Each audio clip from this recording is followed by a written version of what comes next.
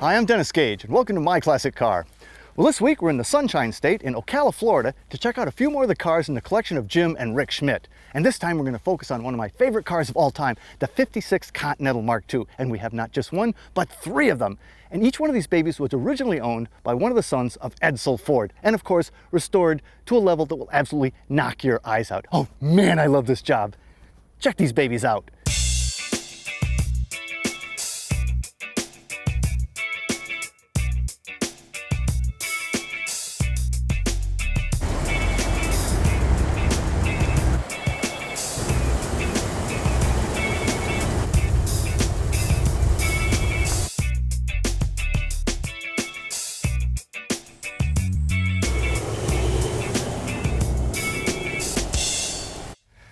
Rick, man, great to see you. Great to see you again, too. You know, it's always fun coming down here, not just because the weather's so nice, but you always have such cool toys. Oh, I think we've rolled out the crown jewels. You really have. You know, I'm surrounded by more Mark IIs than any sane person should have. Continental Mark IIs, 1956. I mean, and you, uh, you and your dad have now three of these babies, right? Yes, yes. Well, it was about six, eight years ago that we came down and we did the blue one. And we did one. the blue one, which was the first one that we owned, and we had owned that since the early 80s. We actually purchased that for my grandfather back then. Now, that, and that's, I mean, Mark IIs are very special to begin with, but these three are all special. And they're all Ford family cars, right? That, that, that one came from William Clay Ford Sr., who uh, also owns the Detroit Lions, which, which is his favorite color combination, is that. Honolulu blue and silver. And, uh, and then Dad met up with a, uh, with a retired Ford executive named Edson Williams, who owned Benson Ford's Mark II, which would have been William Clay's brother. That's the green one? hmm that's the green one. Uh, they, they, they never did reach a purchase agreement, but, uh, but Mr. Williams passed away and he had left word with his estate that he felt, thought that the,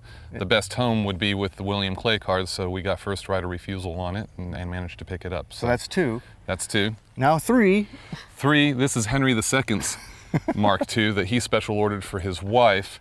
And that was, uh, that was one that we had to do a little more thinking about. It was that bad. It was really that bad. Rusted to the door handles. Wow. But you guys took it on. Yes.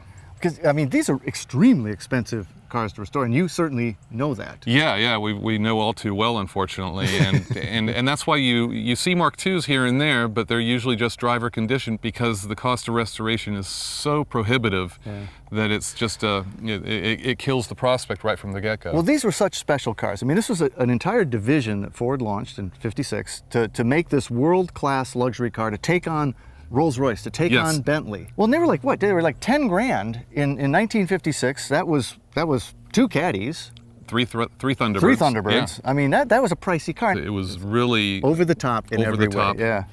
Well, like you talk about some of the interesting design features, and it doesn't look like anything in 56. The, the cars were taller, they had fins, they had garish chrome everywhere. And chrome's pretty subtle. She's a very low car, no fins. Uh, but this grille, you know, I think is stunning. Yes, and that's all die cast Really? too. Yeah. Whoa. Very heavy pieces, hard to chrome.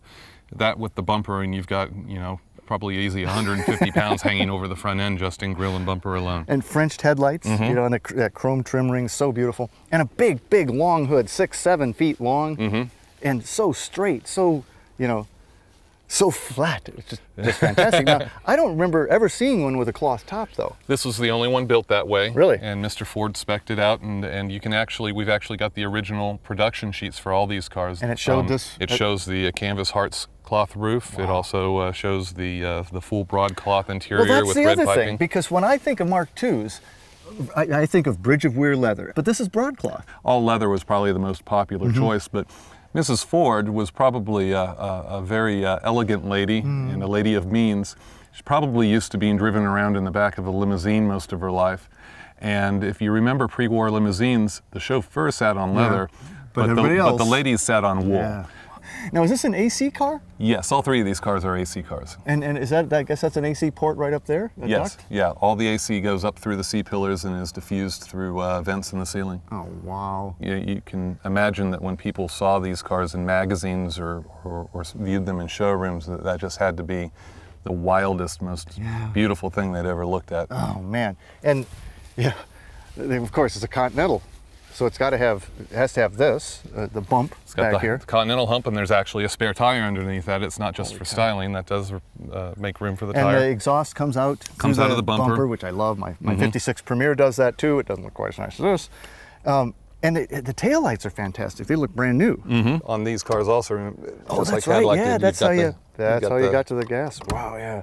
Well, now these came with uh, 368 engines. I know that uh, William Clay had his hot rodded to a 460 Yes. in in the factory. Uh, is this one still a 368? This one's still a Oh, 368. well, let's go look at that. okay. Now, this one also doesn't have the hood ornament. I mean, I thought all Continentals Oh, you noticed that. Continental Star. What happened? Uh, Mrs. Ford didn't like the hood She ornament. didn't like it. she didn't like the hood ornament, so this one's never had it. Well, I guess she she gets to pick, doesn't she? That's right. We'll open up this Okay. ornamentless hood. Oh wow, that is that is just that's gorgeous. That's as beautiful as the outside. And at the Continental valve covers, th- I mean, those are just those are Yeah, gorgeous. beautiful cast valve covers. Uh, all of the uh, the uh, wing nuts are, are Continental, Continental stars, stars there on the air cleaner and, and on the uh, power steering. Well, I, I know you guys. Uh, these cars run as good as they look. Can we take this one out and do a little Absolutely. exercise? Let's Yeah. let's go. Ooh. Welcome back to My Classic Car. They made right around 3,000 of these. Yes. Right? Yes. They started production after the car debuted in uh, October in the, at the uh, Auto Salon in Paris. And uh, between October 55 and New Year's, January 1st, they produced about 1,300 of them. For uh, January through uh, the following August, another 1,300, and then they did 444 1957 models. They lost money on each one until the whole entire project was was uh, canceled and the entire division, the Continental Division, was shuttered. In two, a mere two years. Yes. And to this day, uh, it's considered, uh, even by, I think, by uh, automotive designers, as one of the prettiest cars ever built. How long was the restoration for this? Three years. Really? Wow. Three years. Did you guys see it through that process, or did you go visit it? Yes. We were constantly accumulating parts and fabrics, materials that were needed as it, as it went along. Um, almost 3,000 hours went into this car. Really? Of labor, yes. Holy cow. And uh, as such, you can just see why somebody would just stop right there. Yeah. What? or, or a thousand or so before that. right. Unless you're going to do it yourself and you've got a whole lot of time on your hands. and you're really, really good. Yeah. Well, you know, I mean, driving a sleek black Continental Mark II makes you feel pretty, you know, pretty stately and everything. But I, I got to tell you, I am looking forward to the, driving the green one. That sucker is just, that thing is beautiful. Yeah, this is, this car has a very serious Yeah. Kind of banker's Banker, car yeah. attitude to it. We're on our way to the board meeting on Wall Right. Street. Um, the green car is is uh, hey, I've retired. I'm a multimillionaire and I'm going golfing. Life is good. it's that kind of car. Welcome back to My Classic Car. I love driving Continentals. I love the Mark II. But I tell you, and that, that is a fabulous car. But I'm a sucker for green cars.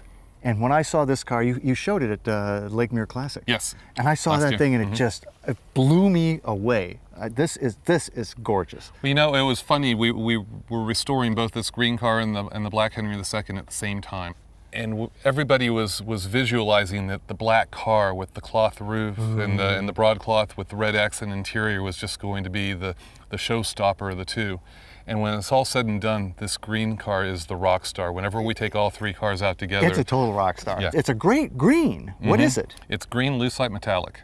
So kind of no, not a not a very Not a you know, fancy name. name, or anything, no, but it sure looks good on the car. And the fact that it is metallic is you get you know when the sun highlights it, you get these you know these flares almost. Coming Yeah, it, it just really just uh, makes all of the different uh, subtle uh, creases and lines on the car really pop and show off the styling. Yeah, yeah, and I, th- I think that's true because I think the black car almost uh, hides some of those, but with Mm-hmm. the, the metallic paint, it highlights every crease, every character line this car has.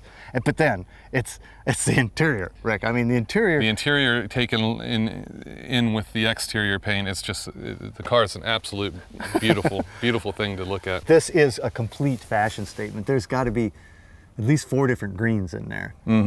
But and, and now again, this is a this is a combination. The other was broadcloth. Like I said, I typically thought of these as all leather, but this is leather and leather with a basket weave fabric uh, insert. And this car was really the most challenging in sourcing all of the materials to do the interior correctly Really? with. We had to have the uh, insert, uh, uh, the weaved insert, custom woven. Really? uh, custom loomed because uh, no reproduction exists, so we had that made to match, and it matches perfectly to the original books. We had to have the headliner material custom woven because nothing in the aftermarket, nothing uh, was being reproduced that Is came. it cloth? and it- it's it's it's a it's a woven nylon. Really? My father worked for so many months back and forth, thumbs downing on samples and demanding other famous samples, that some of the manufacturers that we were dealing with and, and uh, did walk away Ga- from the gave up? project, gave up, and then Dad would go on to the next one and say, "Okay, are you ready for me? Because here's what I want." And here I come. But it's just oh And- man, I mean it's yeah. just this car was actually in very nice original shape when we received it from Mr. Williams' uh, estate. But uh, Dad just he wanted to have the, the three cars freshly done and restored to the highest standards, so apart it went. and they are And it made a good pattern for the black car that was that we bought in pieces. this, this showed us how to put the There other one back together. You really knew after this. Now, the the the black one had uh, the original 368 in it. yes, The uh, William Clays had the the upgraded 460. 460 that was installed in 68. But Benson was way ahead of his brother. He was the first one to hot rod his Lincoln, and this one was upgraded in 1958 and fitted with a 430 Oh, okay. Lincoln engine. Which was kind of the that was the that was the top of the that line was the top back of the then. line back then. So. Let's go look at that, All baby. right. So apparently Benson didn't have an aversion to the hood ornament. No, he didn't have an aversion to the hood ornament, so this one's fully ornamented. Wow, chromed out too. Yeah, Um, yeah, chrome valve covers did, and air cleaner. i- Did did he have it done that way? That was all done at the time. Now that actually almost looks like a physically larger engine, or is it the same block just punched out? No, it's not the same block. The 430 was a different series of, en- of uh, engines. So. Well, you know, I would look really good driving this. I Yes, look, you would. I would look fabulous. You'd look right at home. Let's take this baby out too. Let's do it. Welcome back to My Classic Car.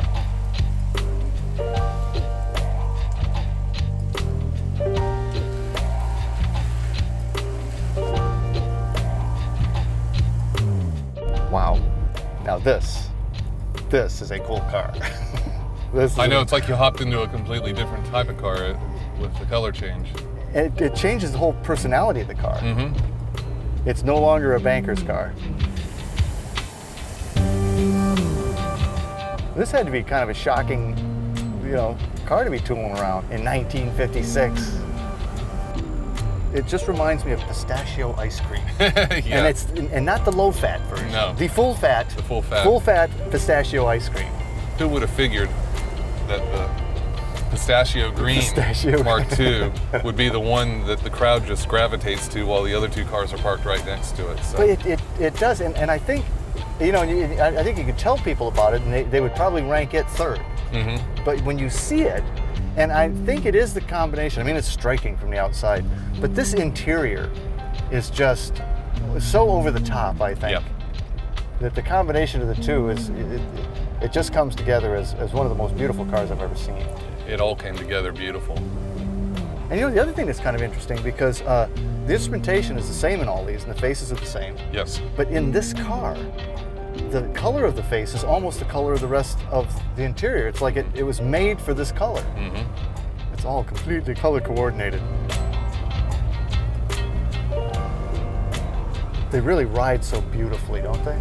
Yeah, they do. There's no mistaking how much that you're pulling around in a two-ton flagship. It's it's heavy metal. The, the proportions of this car are absolutely absurd.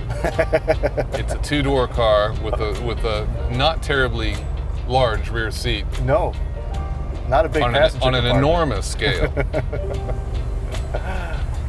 I love this car, man. I just love this car. Ah, life is good. oh man, what a fantastic day in a couple fantastic cars. I love coming down here because Rick and his dad have such cool machines and they let me drive them. Wait till you see what we take out next time.